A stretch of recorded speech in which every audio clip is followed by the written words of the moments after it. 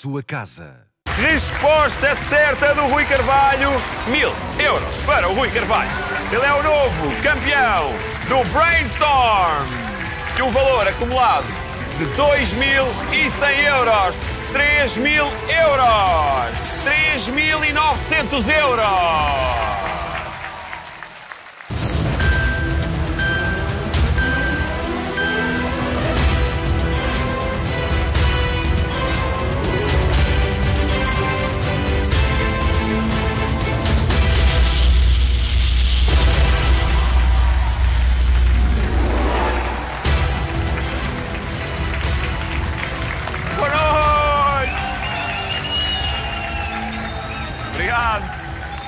Muito boa noite, bem-vindos ao Brainstorm.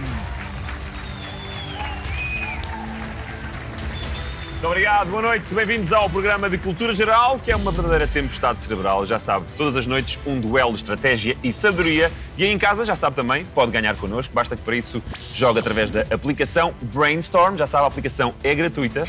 Faça o download, faça o registro, depois faça o login e dê-nos seis respostas certas às seis perguntas que vão estar a valer para o jogo de casa. Habilitando-se assim a um prémio diário de 250 euros. Podem ser seus. Boa sorte! Aqui em estúdio, o campeão voltou, ele já amealhou 3.900 euros. O vosso aplauso para o Rui Carvalho. Grande Rui! Quinta noite consecutiva. Está pronto para bater todos os recordes, Rui? Vamos a isso. Vamos a isso. Tenho uma pergunta para si, antes do jogo começar. Vamos a ela? Vamos a ela. A pergunta é: qual foi o seu maior achado arqueológico? Temos quatro hipóteses. Hipótese A: uma arca com medalhões de ouro. Hipótese B: um sarcófago egípcio. Hipótese C: um lugar para estacionar na Baixa. Ou hipótese D: ou hipótese D: a Andreia. A André e um lugar para estacionar na baixa.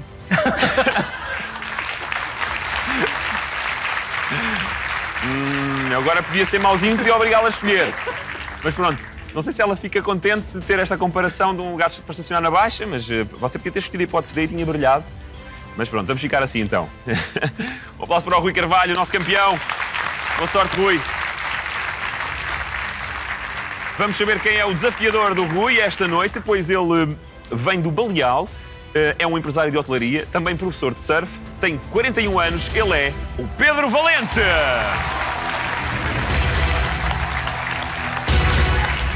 Grande Pedro, tudo bem? Boa noite. Boa noite.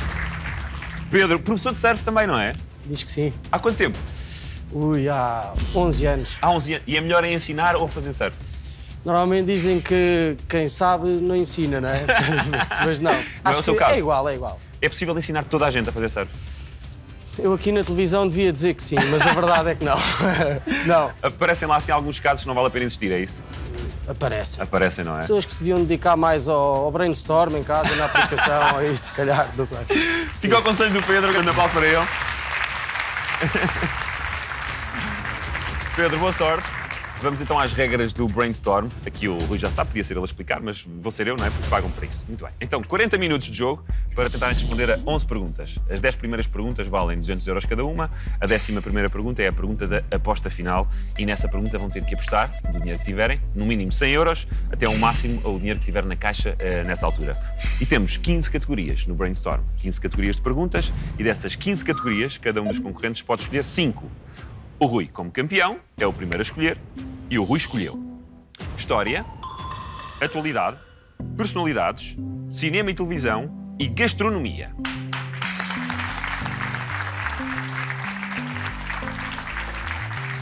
Já o Pedro, não podendo repetir categorias, optou por Ambiente, Desporto, Música, Moda e Ciências.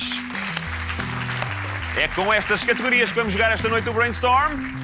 As categorias servem também para si que está em casa e que está a jogar connosco através da aplicação Brainstorm, já sabe, seis respostas certas às seis perguntas que vão estar a valer para o jogo de casa e pode ganhar 250 euros. Senhoras e senhores, vamos jogar ao Brainstorm!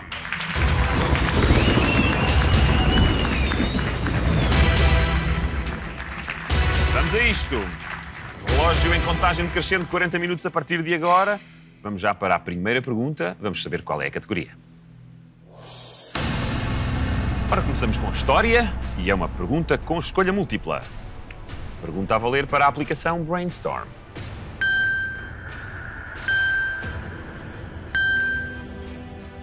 E a pergunta é: a expressão grito do Ipiranga é associada a que momento histórico? Hipótese A: descoberta do Brasil. Hipótese B: fim da escravatura. Hipótese C: ciclo dos diamantes. Ou hipótese D: independência do Brasil. Foi o Pedro primeiro a carregar. Começar em grande. Um homem com reflexos rápidos. É o surf. Vem a onda, o homem tem que.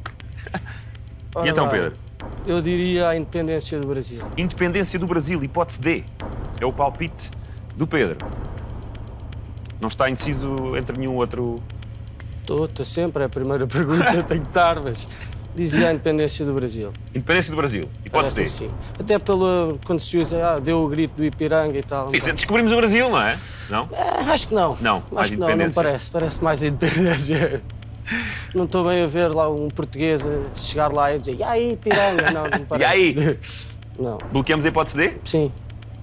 Independência do Brasil. É a resposta do Pedro. Vamos bloqueá-la.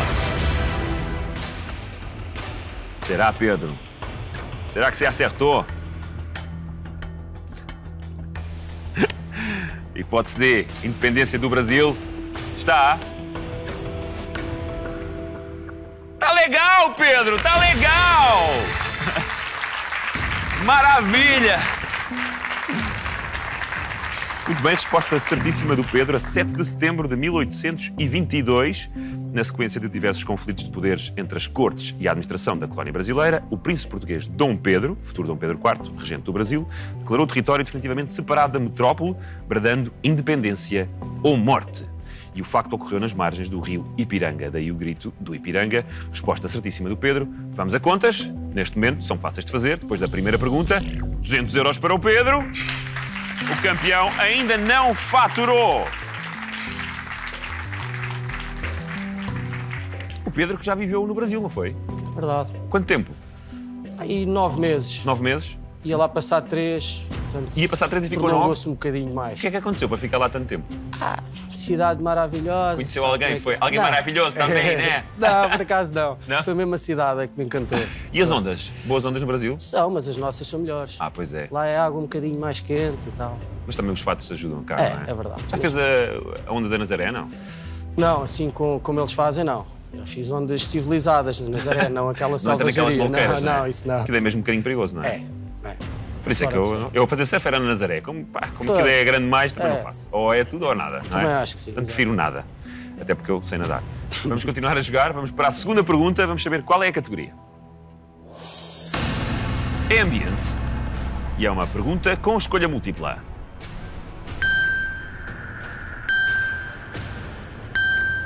E a pergunta é: No sistema métrico português, em que medida é calculada a pegada ecológica? Hipótese A, metro quadrado. Hipótese B, ar. Hipótese C, hectare. Ou hipótese D, quilómetro quadrado. Agora foi o Rui a carregar. E então, Rui? Sua pegada ecológica é grande, Tento que seja a mais pequena possível. tentamos todos, não é? Fazemos todos por isso. Número é calça. 41. 41, vá lá. Eu- a minha é 43. Tenho uma pegada maior. Qual é a resposta certa, Rui?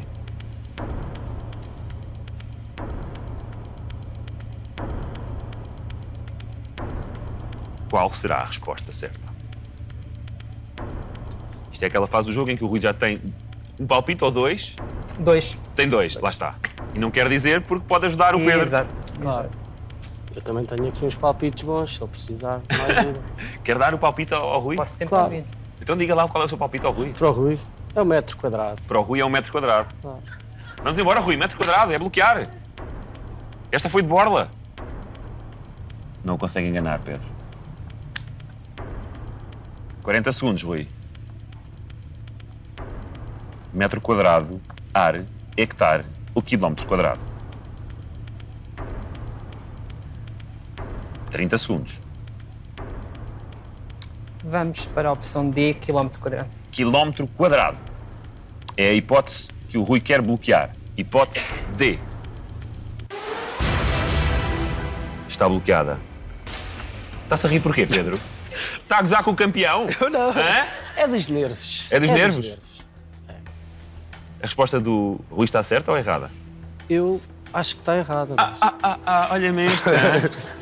Primeiro dia chega aqui e já está armado em sabichão. Não, mas eu também não sei. Eu também Não? não? sei. Não, é só mais assim por aquele feelingzinho, mas não.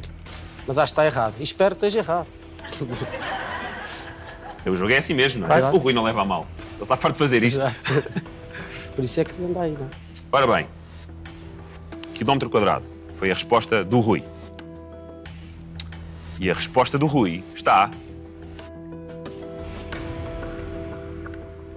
Está errada! Pedro Valente, qual é a sua resposta? B. Ar. Ar. É. É? É? Bloqueamos ar? Sim. Sim? Sim. Quanto tempo é que já ficou debaixo de uma onda sem respirar? Olha, em tempo não sei, mas já fiquei duas ondas seguidas debaixo de água, que já é um pânico enorme. É a sua resposta B? É. Ar. Vamos bloquear a hipótese B. É. E lá de baixo parece uma eternidade, não é? É verdade. É verdade. Às vezes uma pessoa depois vai ver em, num vídeo ou isso e são assim uns segundinhos e parecem horas. Dá para está lá- pensar na vida toda e é assim. Ar foi a resposta do Pedro. Pois é, Pedro. Está com ar que isto não correu nada bem, não é? A resposta ar. À pergunta em que medida é calculada a pegada ecológica no sistema métrico português está.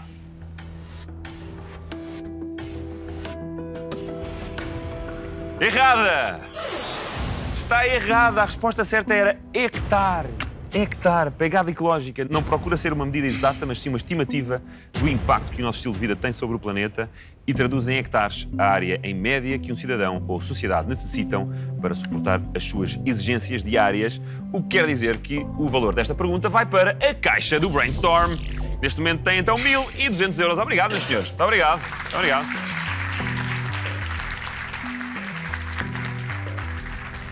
O Pedro continua à frente com 200 euros. O Rui ainda não faturou, mas ainda só passámos duas perguntas. Temos ainda muitas pela frente. Vamos avançar já então para a terceira. Vamos saber qual é a categoria. É atualidade. E é uma pergunta com escolha múltipla.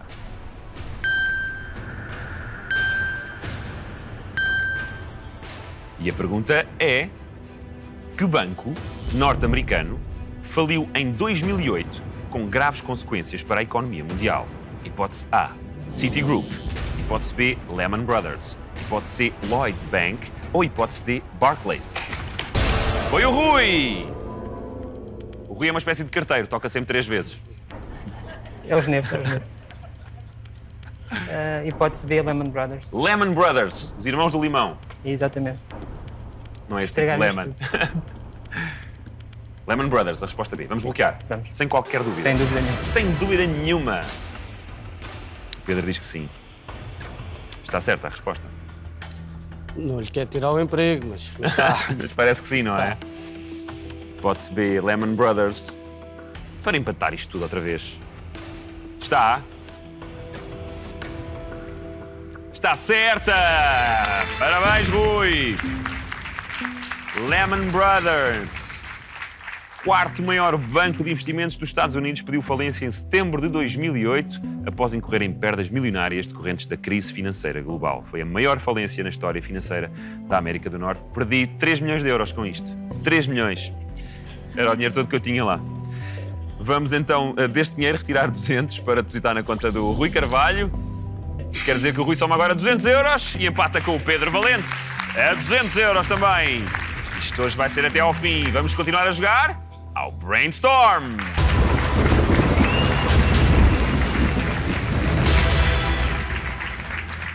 Pedro, eu referi que o Pedro é empresário de hotelaria, quer dizer que tem um hotel? Ou... o que é que- Sim, uma.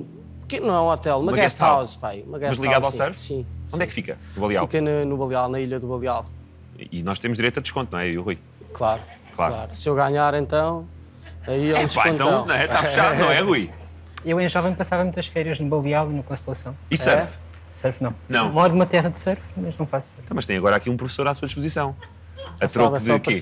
Quanto é que é cada aula? 200 euros? Se me deixar ganhar, até dou uma borlazinha. Uma borlazita, hã? Já não vou ter borlas. Já não vou ter borlas, diz o Rui. Hã? Sim, senhor. Vamos ver como é que isto acaba. Vamos à quarta pergunta e vamos ver qual é a categoria. É desporto. E é uma pergunta visual com escolha múltipla. Será que é sobre surf? Ah, isso era giro. Era engraçado. Até parecia combinado. Vamos ver o vídeo. Três semanas depois do pior tsunami de sempre, foi encontrado, perdido, desidratado e assustado, mas vivo e com a camisola da seleção portuguesa de futebol vestida. Estávamos em 2004. Rui Costa era então o capitão da equipa das Quinas.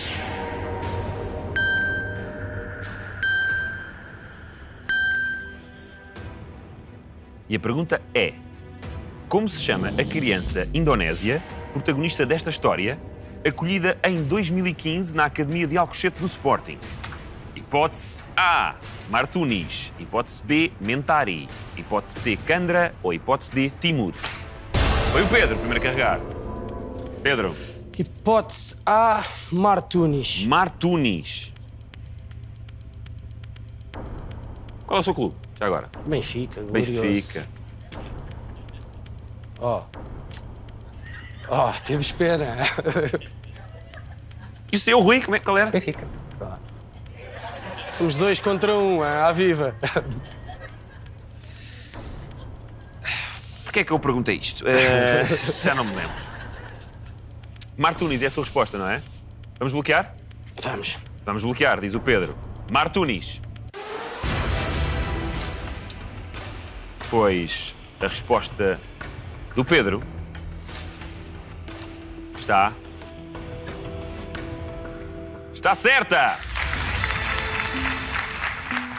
Martunis. Tinha sete anos. Tinha sete anos quando foi encontrado sozinho numa praia de Banda Aceh, na ilha indonésia de Sumatra, eh, após o tsunami de dezembro de 2004. E na altura foi notícia e comoveu Portugal, porque tinha vestido uma camisola da seleção nacional. E o Pedro já lá teve, não foi? Na Indonésia. E em Axé mesmo. Foi? Mas não foi nesta altura. Ah, não, tive, tive a seguir e só tive a seguir. Vamos fazer contas depois desta resposta certa do Pedro. Pedro soma agora 400 euros. Volta a tomar a dianteira. Vamos para a quinta pergunta. Vamos saber qual é a categoria. Personalidades. E é uma pergunta com escolha múltipla.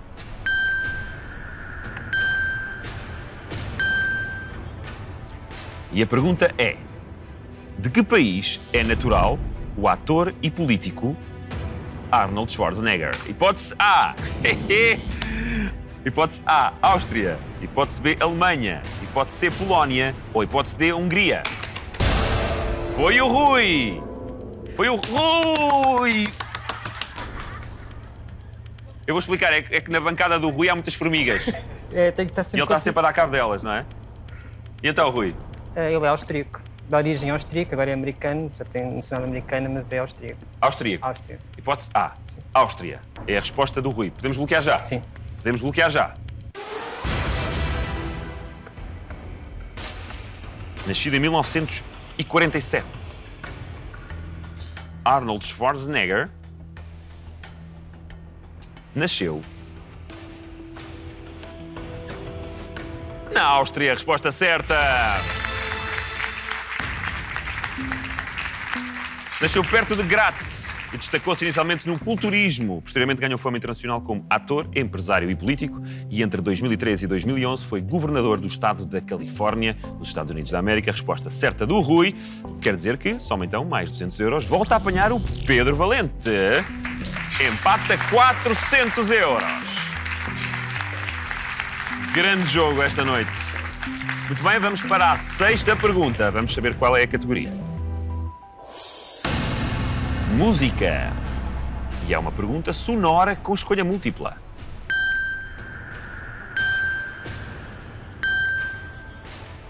Pergunta a valer para a app, é uma pergunta sonora. Vamos escutar em primeiro lugar.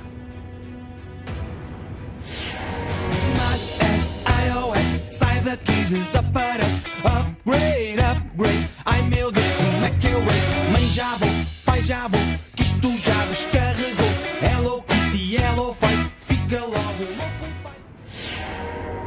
Ah, não dá para ouvir toda. É só este bocadinho. E a pergunta é: qual o nome deste tema dos azeitonas sobre comportamentos associados à tecnologia moderna? Hipótese A: Game Over. Hipótese B: WhatsApp. Hipótese C: Smartphone. Ou hipótese D: Radio. Foi o Rui primeiro a carregar. Fã dos azeitonas? Sou fã dos azeitonas. Com ou sem caroço? Com, como eles são. Qual é a resposta certa, Rui?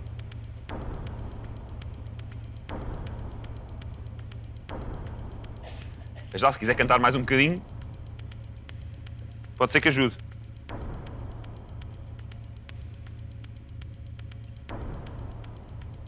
Pedro sabe, não sabe, Pedro? Acho Não. que sim. Sabe? Ah, Não sei. A música eu Rui? conheço. conhece a música? Conheço, mas. O Rui, conhecia a música? Eu conheço a música, não tenho a certeza do, do nome. Não tenho certeza, mas tem um palpite. Tenho um E palpite. o palpite é. Tenho dois palpites. Dois, pronto, está tudo tramado. Nunca mais saímos daqui. Um minuto e dez. Quais são os dois palpites? Não quer dizer, não é? Não. Então diga só um. Hipótese B, WhatsApp. What's up? Yo, what's up? What's up, bro? Quer bloquear? What's up?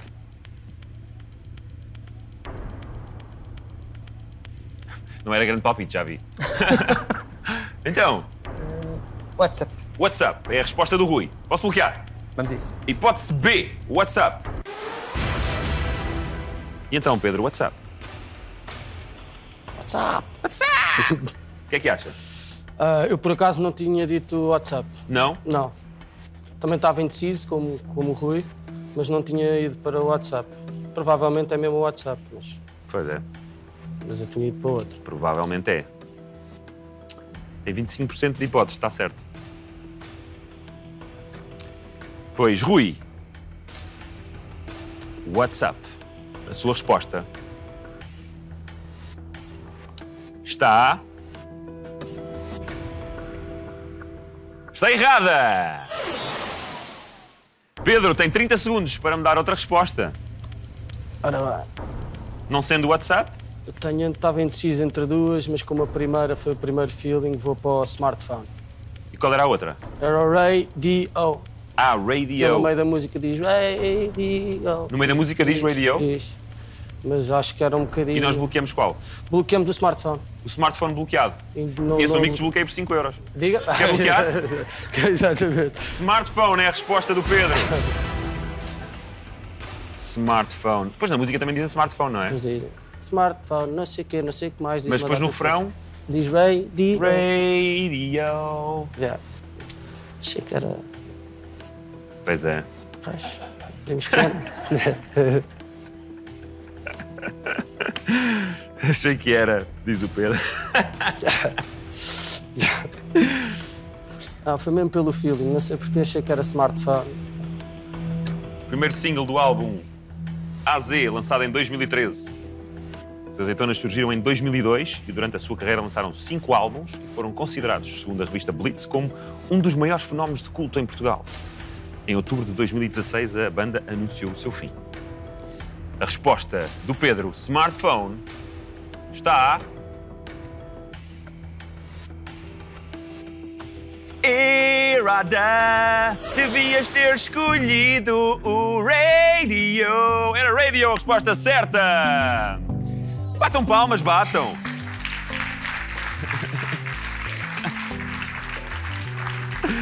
Eles hoje não querem ganhar dinheiro. Eles hoje não querem ganhar dinheiro. Muito bem, mais 200 euros que vêm para a caixa Brainstorm. Neste momento na caixa ficam 1.400 euros. Muito obrigado. São muito gentis. São as mãos largas, dos concorrentes. Portanto, o Rui continua com 400 euros e o Pedro com 400 euros. Temos um empate à passagem da sexta pergunta. Vamos avançar, meus senhores. Vamos para a sétima pergunta. Vamos saber qual é a categoria. Cinema e TV. E é uma pergunta com múltiplas respostas.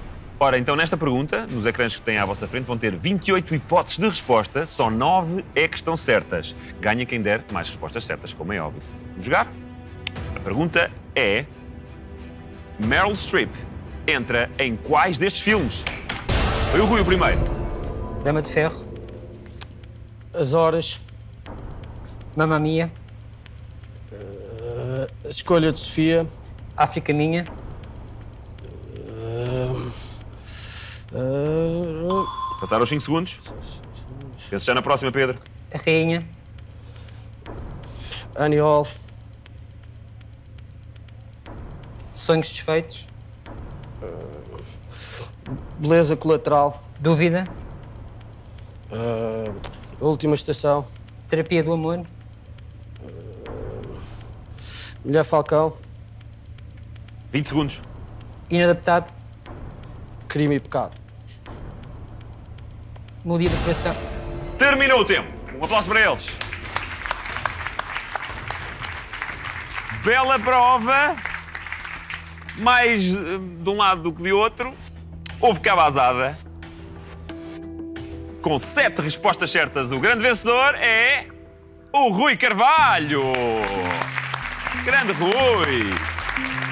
Sete respostas certas do Rui. As respostas certas foram inadaptado, a Dama de Ferro, Dúvida, África Minha, Melodia do Coração, Terapia do Amor e Mamma Mia. Duas respostas para o Pedro, as horas e, esco- e a escolha de Sofia. Quer dizer então que o Rui vai somar mais 200 euros à sua conta. Neste momento vai na frente, agora com 600 euros para o Rui Carvalho, 400 euros para o Pedro Valente. Mas a diferença é mínima, Pedro. Ainda tudo pode acontecer. Vamos continuar a jogar ao Brainstorm.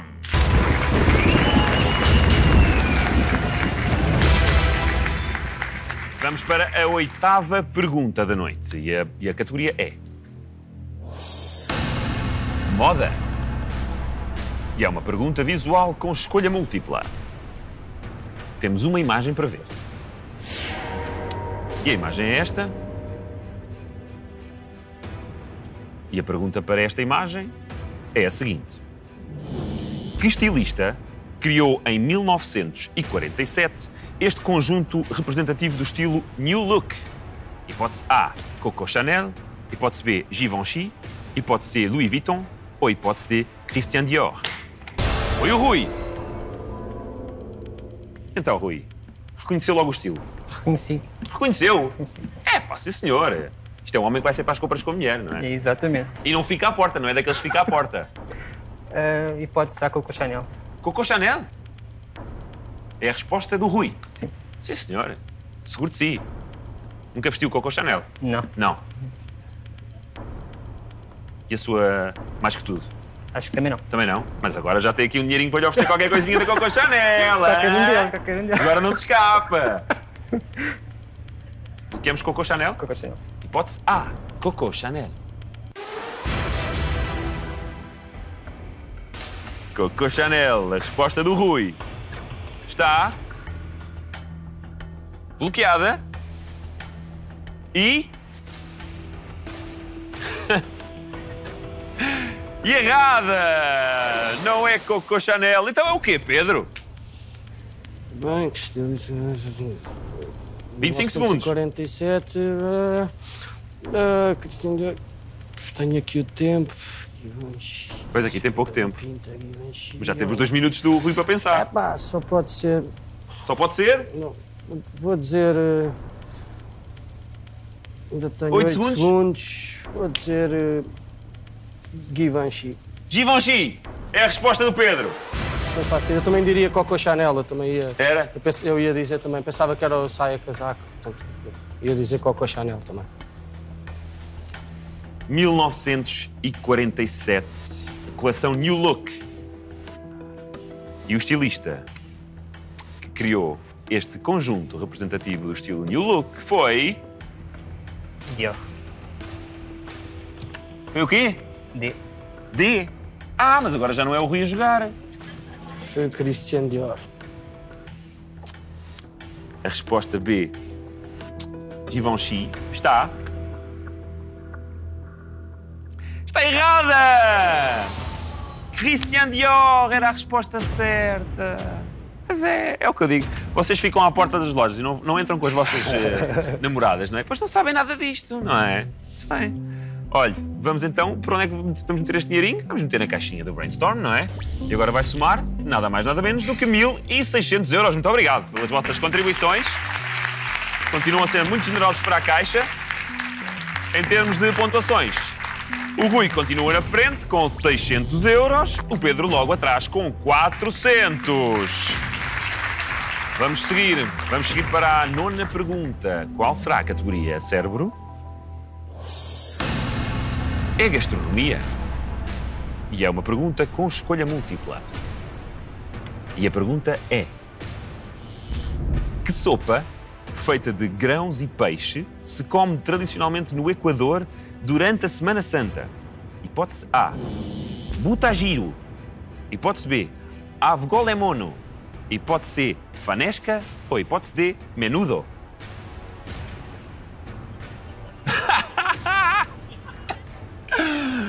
Então, ninguém quer provar? Hã? Olha, é o Rui, pronto, que salixe, não é?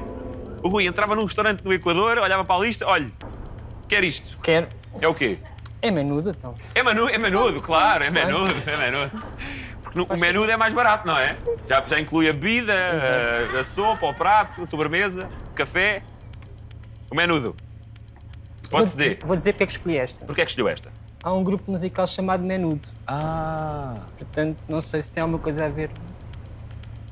Menudo é a resposta do Rui. Vamos bloquear a hipótese D. Menudo. Será um menudo? É uma sopa feita com grãos e peixe. Será? Isso é a sua esperança. Grãos e peixe, menudo. Ora, a hipótese D, menudo, está.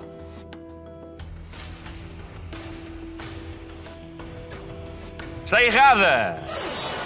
Não é menudo. Pedro, então o que será? Uma sopa feita de grãos e peixe. Eu mais uma vez também iria dizer. Também ia para o menudo, não é? Agora esqueci-me por isso simplesmente de carregar no botão. Esqueci-me que estava aqui.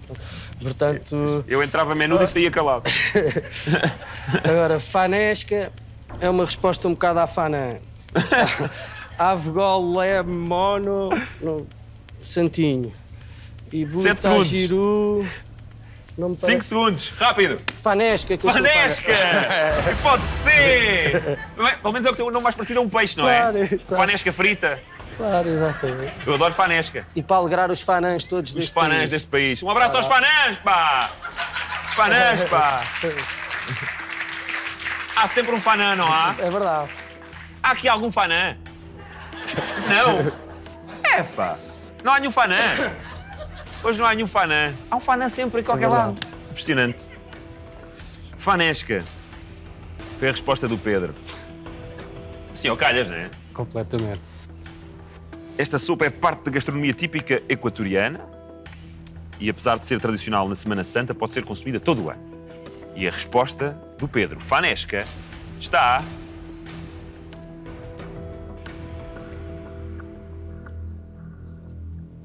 Certa!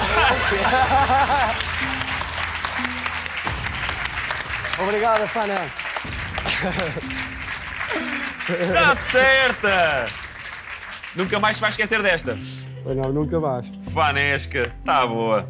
Muito bem, vamos então somar mais 200 euros à conta do Pedro. Volta a empatar com o Rui. Empata 600 euros nesta altura. Ai, que grande noite. Vamos embora continuar a jogar, mas vamos ter que avançar para a pergunta da aposta final, porque estamos a entrar nos 5 minutos finais. Vamos à aposta final, mas para já então vamos atualizar os valores. Eh, Falta uma pergunta por jogar, o que quer dizer que vamos ter que somar mais 200 euros à caixa Brainstorm. Fica neste momento então com 1.800 euros, um valor que fica um bocadinho longe do vosso alcance, uma vez que só tem 600 euros cada um, será o vosso valor máximo de aposta na aposta final. Mas antes de apostarem, vamos ter que saber qual a categoria da pergunta. Vamos saber agora. Personalidades. E é uma pergunta com escolha múltipla. E agora sim, meus senhores, estão em igualdade de circunstâncias, 600 euros para cada um, portanto pensem muito bem antes de apostar. O Rui já apostou, falta o Pedro. E agora? Já apostou também. Um aplauso para eles!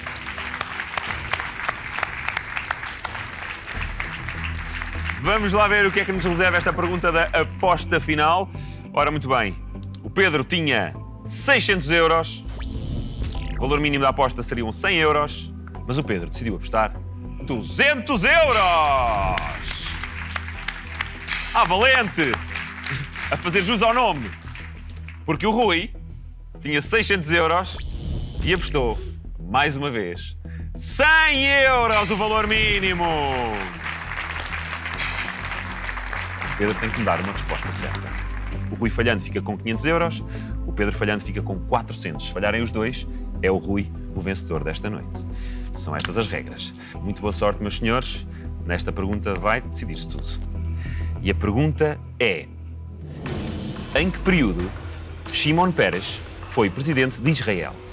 Hipótese A: 1984 a 1988. Hipótese B: 2005 a 2012. Hipótese C: 1995 a 2000. Ou hipótese D: 2007 a 2014. Foi o Pedro primeiro a carregar. Pedro, está tudo nas suas mãos. Uma resposta certa e você é o novo campeão do Brainstorm. Tem dois minutos desta vez. Quais 30 segundos faz quê? O Rui fica na expectativa desta vez. Prefere assim, Rui? Não, Não. Ai, o Rui queria responder. eu sei a resposta. Ele sabe a resposta. Só para enervar mais o Pedro. É tudo mentira. Isto é um bluff. Mas eu não sei. O Pedro não sabe. Não. Calma, Pedro. Tem tempo, tem tempo. Eu nem consigo estar quieto no mesmo sítio já.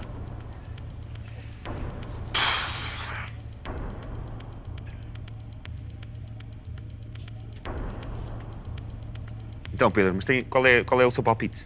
Está indeciso entre uma, duas, três, quatro? Cinco, seis? Quantas que não estão aqui? Estou indeciso entre duas.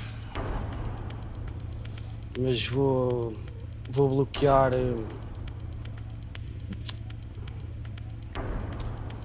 Tem mais ou menos uma ideia da altura em que foi? Tenho, mais ou menos. Tenho medo de me estar a esticar um bocado nas datas, mas. Vou bloquear a C. C, Sim. 95, 2000. Shimon Peres, presidente de Israel. Hipótese C. Ainda tem 30 segundos Essa- para confirmar ou mudar de opinião. 5 2012. Acha que pode- ter sido mais recente ou menos recente? Acho que pode, pode ter sido. A data. 2007 a 2014 não foi. 8 segundos. Foi. Resposta final é. Rápido. É esta. É esta, C, 1995-2000.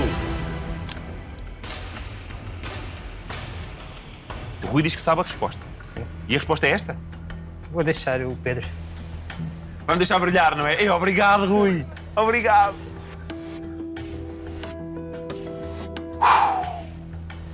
Pedro não sabia. E foi para a hipótese C, 1995, 2000. E a Sofia lá atrás a dizer: Eu sei, eu sei, eu sei. A hipótese C, Pedro, está para ser o novo campeão do Brainstorm. Teria que estar certa. Isto seria. A hipótese C está.